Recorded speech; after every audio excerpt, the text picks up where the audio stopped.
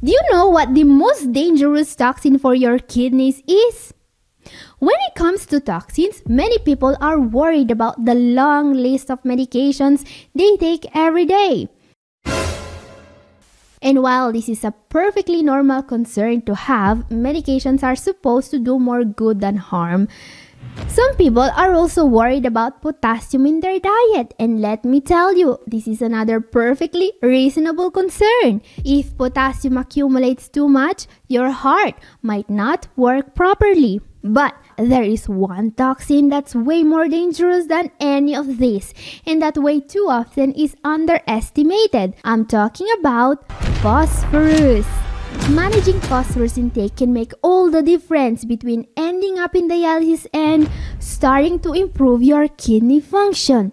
Today, I will show you exactly how to do that. Katherine here. I'm a doctor of natural medicine, and lately I have been working with a patient who seemed to be a desperate case at first. I won't violate patient confidentiality, but this person was borderline stage 5 and improving their kidney function didn't seem reasonable. Everything changed, however, when I started this patient on a low protein, low phosphorus renal diet coupled with a phosphate binder, a supplement aimed at controlling phosphorus levels. More about this treatment, which should be standard for most patients, but it isn't, in today's video. Now, for this patient in particular, I also had to order the test for phosphorus levels. In fact, I have had many patients showing up with incomplete lab reports. This always worries me because it means their PCPs and their nephrologists are forgetting to manage some very important aspects of this patient's therapy. And serum phosphate level is one level in particular that worries me when it's missing. Now, this should be checked regularly every 1 to 3 months depending on your stage of CKD, but not all patients are being tested for this crucial health marker. In fact, what many patients don't know about phosphorus is that a large part of the therapy for CKD is aimed at controlling this mineral. And I'm not just talking about, you know, avoiding milk and dairy or reducing meat and fish intake. I'm talking about avoiding bone fractures, vascular calcification, thyroid problems, and even risk for loss of life. Yes, this is what you are risking if your phosphate level is not under control.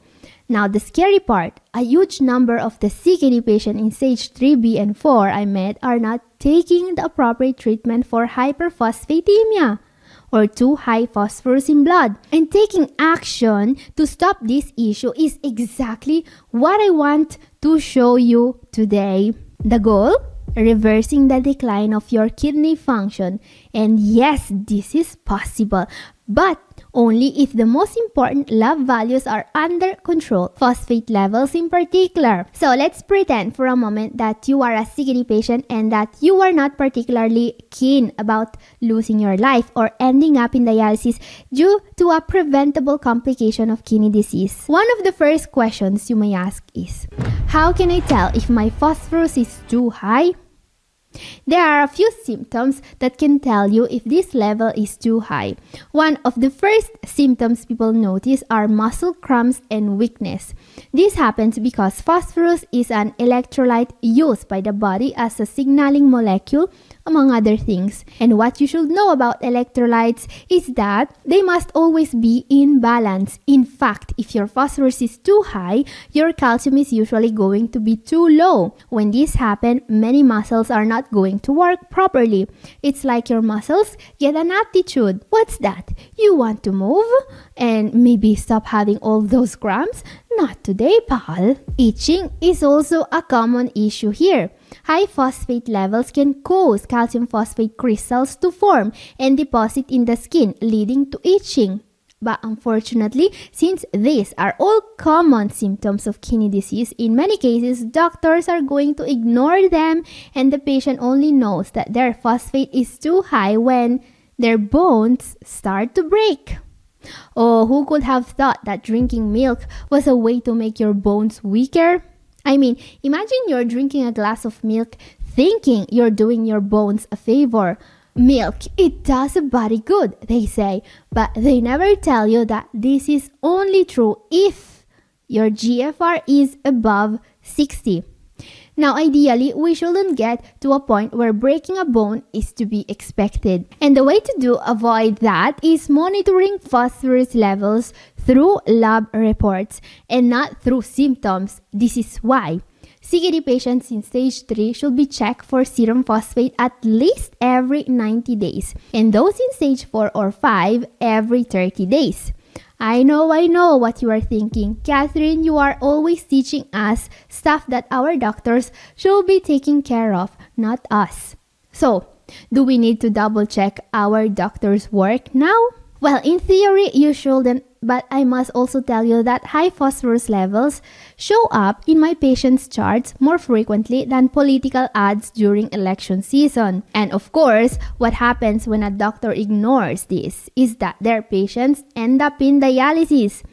Now, What's unfortunate about that is that dialysis doesn't really remove phosphorus efficiently, leaving the patient once again to deal with an issue that should have been addressed long ago. So yeah, you either learn this stuff for yourself or you will have to talk your doctor into subscribing to my YouTube channel. I even have a TikTok channel if they don't have the time for my hour and half long YouTube lectures about kidney health. Now, let's get into the main tools we have to make sure you are not suffering from high phosphorus levels. So there are two ways to make sure your phosphorus is always in range, the renal diet and the supplementation. We will see both now. Starting with a question, what foods have phosphorus?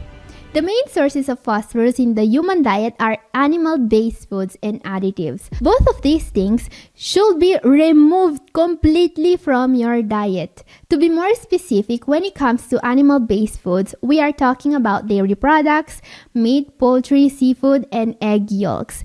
And it's not just the phosphorus that's bad in these. These foods also have protein and they are too acid forming. So, meat, poultry, seafood, and egg yolks. They must go completely. No exceptions. Nope, not even on Thanksgiving. And trust me, I know telling someone they can't have turkey anymore is like asking them to give up their coffee on a Monday morning. But hey, still a lot better than the alternative. Now, what's even more dangerous than animal based foods are foods with hidden phosphorus. Question What foods have hidden phosphorus? Now, this is one of those dirty little secrets of the food industry. They are adding more phosphate additives to foods that are traditionally considered low phosphorus foods. Some examples include flavored water, breakfast cereals, and yes, even instant oatmeal, but also sodas, condiments, sauces, some baked goods, and worryingly enough, non dairy creamers and milk alternatives. Now, milk alternatives are something I really didn't want to put on this list. Many, many CKD patients rely on, you know, rice milk or almond milk to add something to their rolled oats that doesn't taste like water. And now the food industry is trying to take that away from you as well. I mean, how do these people even sleep at night? They know that they are literally poisoning a part of the world population and just to make a few extra bucks. And they don't care. However, the way not to fall for their trap is to always double check the label of what you are buying even if it's not considered a food high in phosphorus.